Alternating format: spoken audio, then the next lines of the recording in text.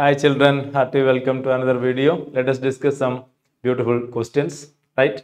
Okay, first question. the ionization constant for ammonium in water is given.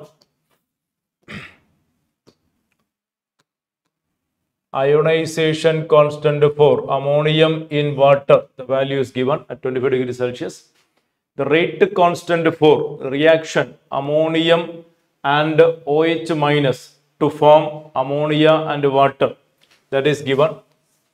The rate constant for the reaction ammonium and OH minus to form ammonia and water given. Calculate the rate constant for proton transfer from H2O to ammonia. So we want to find out NH3 plus H2O giving NH4 plus plus OH minus. We want to find out this. The rate constant for proton transfer from H2O to ammonia. So ammonia with H2O, one proton transferred from water to ammonium, ammonia and ammonia turn NH4 plus and water turn OH minus. We want to find out the rate constant for that. What given is ionization constant for ammonium in water. Ionization constant for ammonium in water. You get NH4OH plus H plus that is given. This is nothing but uh, K acid NH4 uh, if NH4 plus is acid K acid that is given 5.6 into 10 power minus 10 and rate constant for the reaction ammonium plus OH minus giving ammonia and water. So this Kb value is given 3.4 into 10 power 10. So this is the data given and we want to find out the rate constant for this particular reaction, forward reaction, right? So you can understand this is nothing but K base, isn't it? This is, this is the equation, this is equation 1 and this is equation 2. Equation 2 refer to K acid and equation 1 refer to K base and K base is equal to K forward divided by K backward and also that is equal to Kw by K acid as all of you know Kw is equal to K acid into K base isn't it? So K base will be Kw by K acid. So we can relate like this. We want to calculate this this is available, this is none and this is none and the matter is solved.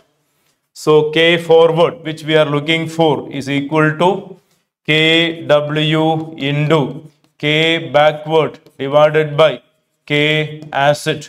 That is 10 power minus 14 into Kb, Kb is available here. 3.4 into 10 power 10 divided by K acid is available here 5.6 into 10 power minus 10. So this minus 10 minus 14 it is minus 4 minus 4 with this it will be 6 10 power 6. Now 3.4 with the 5.6 3.4 with the 5.6 it is somewhat 0.6. So 0.6 into 10 raised to 6 that is 6 into 10 raised to 5 will be the closest answer. 6 into 10 raised to 5 option A is the correct answer. Right? Hope it is pretty clear. Yes. Let's switch on to next one. Another question. FeCl3 on reaction with the K4 FeCN6 in aqueous solution give blue color. All of you know what makes that blue color. It's a formation of Prussian blue. Fe4 FeCN 6 times whole thrice. That is Prussian blue. These are separated by a semi-permeable membrane as shown. And due to osmosis there is. So this is two chamber, one chamber separated by semi-permeable membrane, side X and side Y.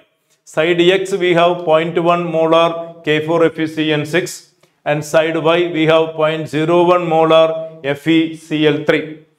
Now, what is going to happen as a result of osmosis? Option A, blue color formed inside X.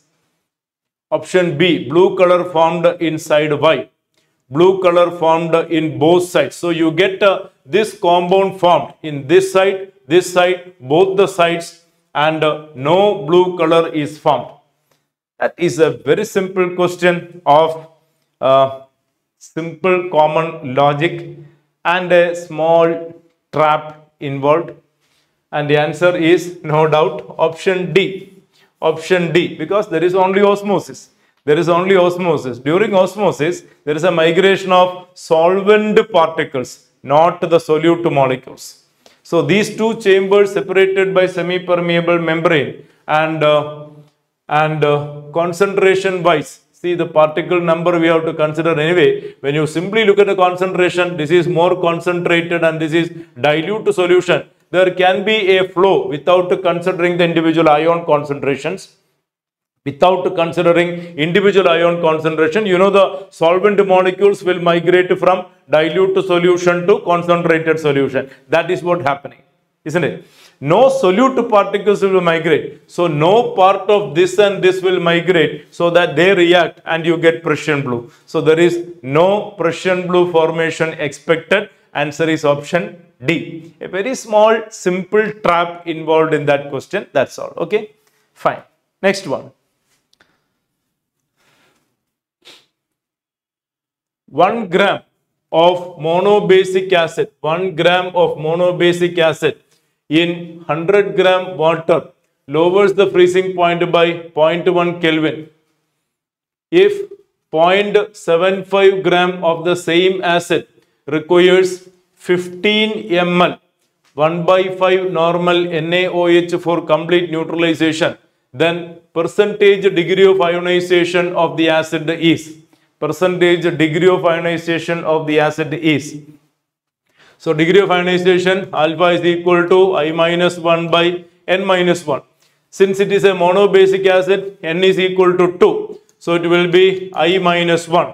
So alpha is I minus 1. If you get I, you get the answer. If you get I, you get the answer. Suppose you are getting I equal to 1.22. Suppose you are getting i equal to 1.22, answer is 0.22. 1.25 you get B, 1.34 you get C, 1.5 you get D. According to the value of I you get the answer. Okay. Now remember this is not percentage, answer is not given percentage, rather it is given fraction. Okay, no problem. So how to get I? I can be obtained from colligative properties. So delta TF equal to I into Kf into M. So delta Tf is given there 0.1. So it is 0.1 is equal to I into 1.86. 1.86 Kf for water into molality. Molality means mass of solute 1000 by molar mass of solute into mass of solvent.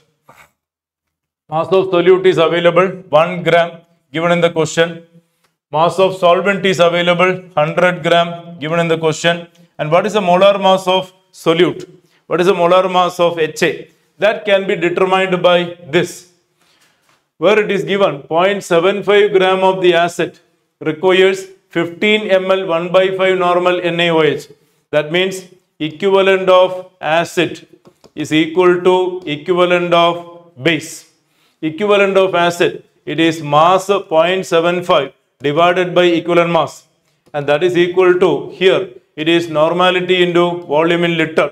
Normality given 1 by 5 volume in liter 15 ml into 10 power minus 3 liters. And now here equivalent mass will be molar mass by n factor. Since it is a monobasic acid, n factor is 1. So it is molar mass itself. n factor is 1. So you get 0.75 divided by molar mass equal to 1 by 5 into 15 into 10 power minus 3. That will be 3 into 10 power minus 3. Therefore, m is equal to 0.75 divided by 3 into 10 power minus 3. That will be 10 power minus 3 goes to top. 750 divided by 3. 250 will be the molar mass. 250 will be the molar mass. That you can substitute here for getting I. Therefore, I is equal to 0.1 into molar mass 250. 250 into 100 divided by 1.86 into mass 1 into 1000. So how much it comes? 250. This is 4 times. This is 4 times. It means 25. 25 with the 2.1. It will be 2.5 divided by 1.86. 2.5 divided by 1.86. That will come out as this will cancel as 1.1.2 or 3. It is 1.3. So the answer is option C. You will get I, I value you are getting 1.3, 1.34 it is. I value 1.34 it is. So alpha will be I minus 1, I minus 1, 1.34, 1.34 minus 1. That will be the answer. Right? That is the question.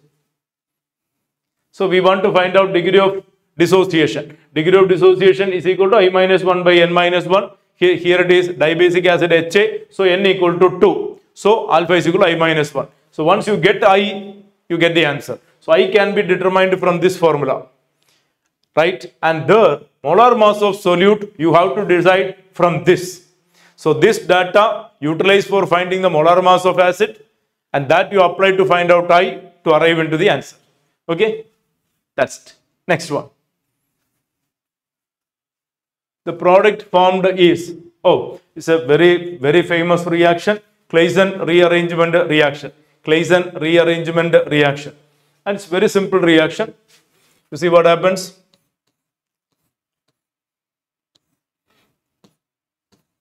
This is what the methyl vinyl ether given. Allyl vinyl ether. This is called allyl vinyl ether. Allyl vinyl ether when heated undergo Claisen rearrangement reaction to get uh, ketones. So what the reaction happening over here is, it is going to break over here. This is minus and this is plus. And immediately this is allyl carbocation undergoing resonance. So this carbon will turn plus and is attacked by this. And what do you get is like this. You get uh, O turn, O minus and uh, this is getting attached and it turned like this. Now immediately this electron pair will be drifted and you get a ketone. You get a ketone and that is the final result. And that is the final result. This is the final product. This is the final product. And it's an example for Claisen rearrangement reaction.